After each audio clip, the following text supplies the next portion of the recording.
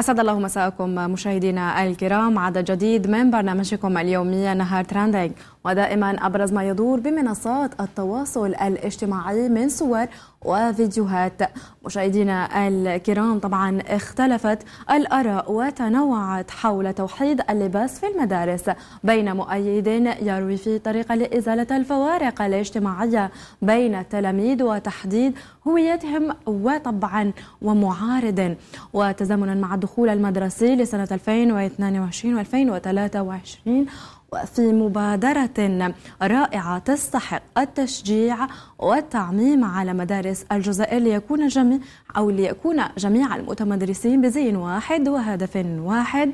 قامت إحدى المدارس الابتدائية بولاية ورقلة بوضع لباس موحد للتلاميذ ومنحه مجانا. طبعا مبادرة استحسنها نشطاء مواقع التواصل الاجتماعي والأولياء الذين تمنوا تعميمها لتشمل باقي المؤسسات التعليمية عبر كامل القطر الجزائري طبعا. وعلقوا عليها كتالي ملاك كتبت فكرة رائعة. يا ريت لو تجسد الفكرة من الوزارة وتشمل الوطن كامل. طبعا تعليق ثاني هاجر كتبت تجاميل مبادرة جيدة بالتوفيق. إن شاء الله إن شاء الله تعم هذه الفكرة في كل ولايات الوطن. تعليق آخر من محمد كتب والله أفضل شيء يحد من عقلية المعاندة والتباهي ويساوي بين الجميع. تعليق آخر من مسعود الذي كتب الحل الوحيد ليتخلص الأولياء من شبح الغلاء الألبسة والمآزر. تعليق أم عبد الحي كتبت ما شاء الله يا ريت تعمم على جميع مدارس الابتدائية. وسما كتب ما شاء الله فكرة شابة والله كون يطبقوها كامل هكذا. مشاهدينا الكرام كانت هذه أبرز التعليقات بخصوص الموضوع الأول. ننتقل إلى الهاشتاج الثاني والموضوع الثاني. طبعا أصبحت الهواتف النقالة لا تفارق الأيادي وجزء أساسيا في الحياة اليومية ولا يكاد أي شخص أن يستغنى عنها ولكن إذ تعلق الأمر بالتلاميذ والطلبة هنا يختلف الأمر حيث أن هناك إدارة ومؤسسات تفرض عقوبات على الطلبة بخصوص الهاتف بالمدارس. طبعا وفي إندونيسيا حصل أمر غير متوقع. حيث تداول رواد مواقع التواصل الاجتماعي مقطع فيديو يوثق يقول فيه مسؤول بإحدى المدارس الإندونيسية عقوبة شديدة على كل من يخالف قواعد إدخال الهاتف المحمول. ويظهر في هذا المقطع طاولة وضع عليها عدد من الهواتف المحمولة المصادرة من الطلاب بينما يقف مسؤولان يحملان بأيديها.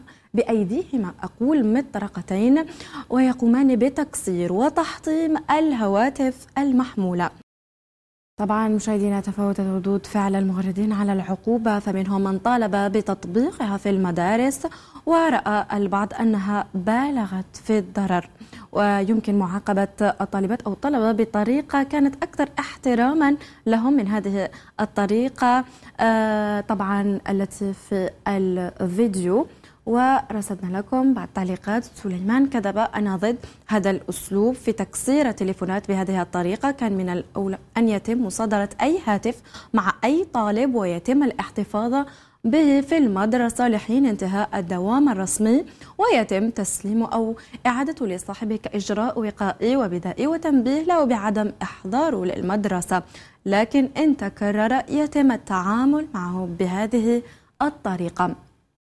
تعليق آخر عن إنستغرام كتب أو كتبت أحببت الفكرة. رائعة. والله من يوم ما دخل الهاتف البيوت والمدارس انتشر الفساد. تعليق آه، آخر. كتبت التربية والنشأة الحقيقية الخطأ يقع على أهالي الطلاب من سوء تربيتهم لأبنائهم. يستاهلوا ما جرى لهم. المدرسة مكان للتعليم وليس للترفيه. يجب تربية الأبناء وتذكيرهم على احترام الأنظمة التعليمية منذ الصغر حتى يعتادوا على إتباعها والعمل بها. تغريدة عبد الله على الموضوع أو على الفيديو. آه، كتب لماذا هذا العنف والقسوة في تربية الأبناء. هذا ما يعلم الأبناء العنف وأخذ ما يظنون أنهم حقهم بالقوة. كان المفروض مصادرة هذه الهواتف صباحا وإرجاعها لهم في آخر اليوم وتحذيرهم من تكرار جلبها للمدرسة ومصادرتها نهائيا إن تكرر الأمر. تعليق آخر. كتب هذا سلوك غير حضاري ويجب على أولياء الأمور مقاضاة إدارة المدرسة بخصوص الخسائر التي كبت جراء فقدان أطفالهم أجهزتهم لأنها كلفتهم أموالا باهظة. كان يجب على إدارة المدرسة آه على إدارة المدرسة وتسليمهم تليفونات أطفالهم أو أطفالهم. تغريدة أو تعليق آخر. كتب هذا الصح طفل في هذا العمر يجب عليه احترام العلم والمعلم. أيضا مشاهدينا اسالة كتبت أو سارة كتبت تصرف صحيح. همهم رايحين يدرسوا ألا يستخدموا تليفونات؟ ما يضيع الجيل غير في التليفونات والدلع الزائد. مشاهدينا كانت هذه أيضا أبرز التعليقات بخصوص الموضوع الثاني. ننتقل إلى هاشتاج الأخير زلزال المكسيك. طبعا تزامنا مع ذكرى زلزالين مدمرين وقع عامي 1985 و 2017 مفاجأة صادمة في نفس اليوم. زلزال آخر يضرب المكسيك في نفس اليوم. الزلزال طبعا خلف آه، الرعب في نفوس عدد كبيرة من السكان مذكرا أو معيد للأذهان المآسي التي ما زال الكثيرون في العاصمة المكسيكية لم يتجاوزوا صدمتها.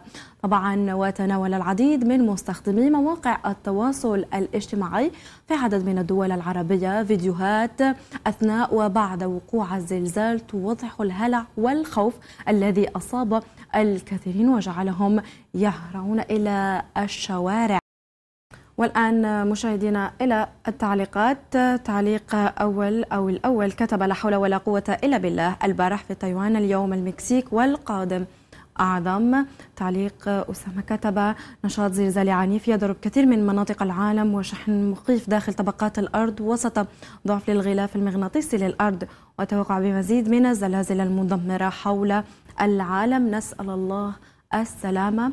تعليق أخير كتب طلعنا من كوارث كورونا والحرائق وما خلفه الصيف والآن نحن في استقبال الخريف بالزلازل ومع دخول الشتاء فيضانات وبراكين والعلم عند الله.